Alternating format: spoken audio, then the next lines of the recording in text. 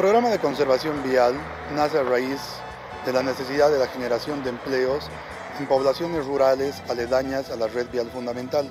Los objetivos de las microempresas en la red vial fundamental es realizar el mantenimiento rutinario y periódico para así alargar la vida útil de la carretera y disminuir los costos de una rehabilitación o reconstrucción. Mi nombre es Verónica Romero Quispe, trabajo desde el año 2011, ya cumpliendo 10 años en el, tramo de LP01.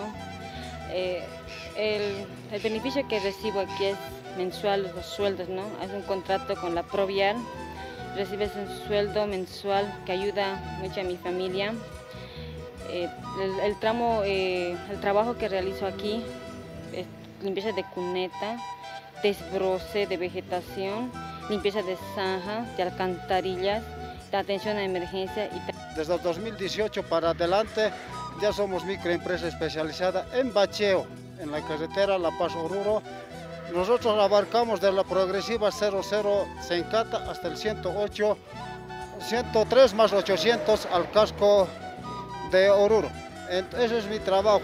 Y los equipos hemos conseguido gracias a nuestro ahorro que nos hemos tenido de cada gestión.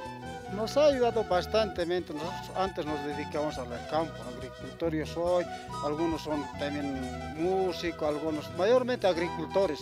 Y entonces con el sueldo que tenemos, percibimos, nos ayuda bastante a, que nuestros hijos un poquito ayudemos para sus estudios. La economía un poquito en el campo, ahí llueve, no llueve, entonces no es tan seguro. Entonces.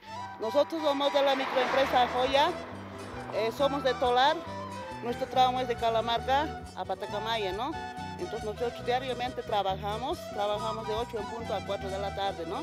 En la mañana me levanto, como mis hijos todos estudian, entonces yo les dejo cocinado. Y en la tarde llego directo también a cocinar los servicios que han gastado porque son jóvenes, ellos estudian, mi esposo trabaja, es chofer asalariado, no cubre ¿no? el sueldo que mi esposo gana, ¿no? Es por esa manera que también nosotros nos dedicamos a trabajar, ayudar al esposo, ¿no? Porque del esposo solo no cubre ya el sueldo que él gana, ¿no? Entonces trabajamos con ciertos riesgos en el tramo, ¿no? Vemos accidentes, vamos, esta mañana mismo había un accidente que nos ha dejado seca igual, ¿no? Entonces estamos día a día, día, a día trabajando en el tramo, ¿no? Por ejemplo, ¿no? mis compañeras son ellas mujeres solas, ¿no? Ellos son papá y mamá, luchan por sus hijos, por sacar adelante, ¿no? No también por ser mamá nomás, yo tengo cinco hijos, entonces tengo que ayudar a mi esposo, tampoco puedo estar mirado a mi esposo, ¿no? Porque las mujeres también tenemos ese mismo valor, no tendremos la fuerza del hombre, pero también estamos casi al nivel del varón, ¿no? Por eso también trabajamos nosotros. Chisco Choqueomani, soy el representante legal de la microempresa Días Verdes. Nosotros realizamos las señales verticales, que es para la regional La Paz, y en un momento también para toda Bolivia hemos realizado.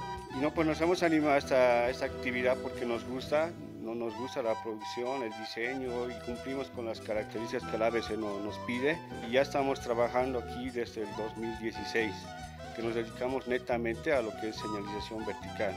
Sí, no nos conocemos de ahí, de, de nuestras zonas y de ahí que nos hemos decidido a, esta actividad. ¿no? Nos hemos juntado y hemos dicho, eh, y nos llevamos muy bien también, entonces hemos decidido empezar con este emprendimiento que es para nosotros.